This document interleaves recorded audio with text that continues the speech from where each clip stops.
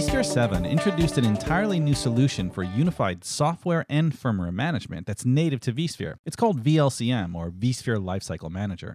And now that Update 1 is available, I wanted to show you how simple it is to completely upgrade the hypervisor, driver, and firmware using VLCM.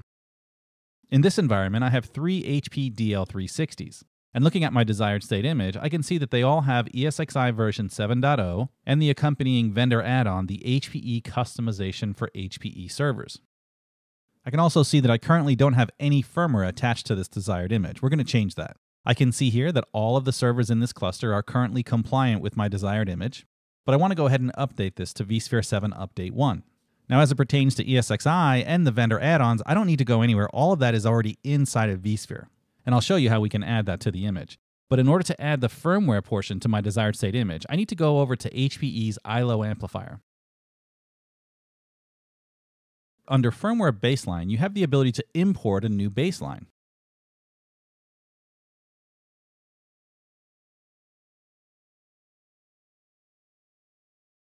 Baselines can be imported by NFS, HTTP, or HTTPS, or even a regular file upload.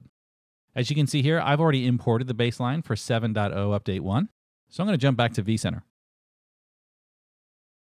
There are a couple of different ways you can take advantage of VLCM. Let's start with a new cluster creation.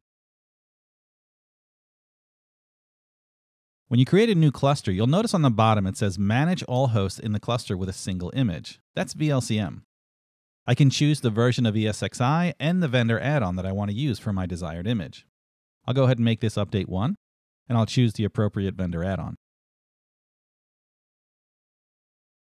So now I've got the hypervisor and I've got the drivers, but there's no place for firmware here. I'll show you how to add that next. So now that the new cluster is created, I'm going to go to the Updates tab.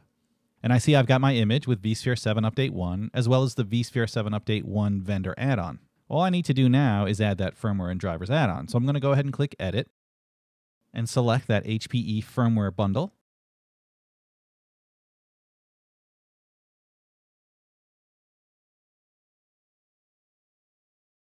And then from this point, if I had any hosts in this cluster, I could go ahead and remediate that. But all my hosts are sitting in this HPE vSAN cluster. So let's go ahead and update that one. As I mentioned earlier, it's currently using vSphere 7.0 and the appropriate HPE vendor add-on, but it still needs the firmware bundle. And as you can see, I'm currently compliant with this image. So I'm going to go ahead and edit this image and change the ESXi version to vSphere 7 Update 1. I'm also going to change the vendor add-on and choose the most recent vendor add-on for HPE. This has all the drivers that I need for my HPE servers.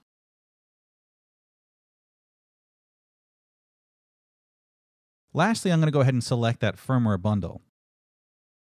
This is the firmware bundle that HPE provides for all of my servers. Then I'll go ahead and click Save. Now that I have some changes, VLCM is going to check the compliance of my host And as you can see, all three of my hosts are no longer compliant.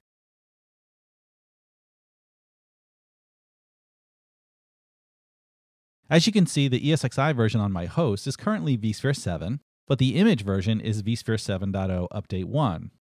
Same thing with my vendor add-on, and you can also see here that I have no firmware add-on currently, but the desired image has ESXi 7 Update 1 upgrade pack. And below that, I can see the specifics of that firmware bundle. There's a side by side comparison of the firmware versions that are on the host and the firmware versions that are on the image. At this point, I have a few options. I can go ahead and remediate one server if I choose, but VLCM is a non disruptive upgrade process, so I'm going to go ahead and remediate all. Prior to the remediation, vSAN does a hardware compatibility check against the vSAN compatibility guide. It looks like my hardware is compatible. At this point, VLCM begins the non-disruptive upgrade process, starting with one host in my cluster. It'll migrate the workload to another host in the cluster, put the host in maintenance mode, upgrade the hypervisor to vSphere 7 Update 1, upgrade the vendor add-on, which contains all of the drivers for that server, then restart and apply all the firmware upgrades. Taking a peek into the remote access of the server, I can see it's currently flashing the firmware. Once the firmware upgrade is complete, the host will restart, do another compliance check, take the host out of maintenance mode, return the workload, and then move on to the next host, all in a non disruptive rolling upgrade fashion. Once VLCM completes the remediation on all my hosts, it does a final compliance check, and as I can see here, all of the hosts in my cluster are compliant. So as you can see, using VLCM for lifecycle management is pretty straightforward.